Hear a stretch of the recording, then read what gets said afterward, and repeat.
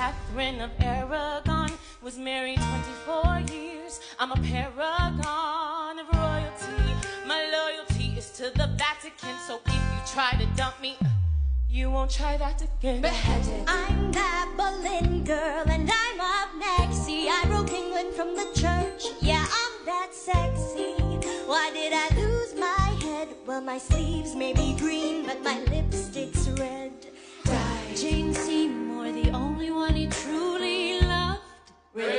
When my son was newly born, I died, but I'm not what I seem, or am I? Stick around and you'll suddenly see.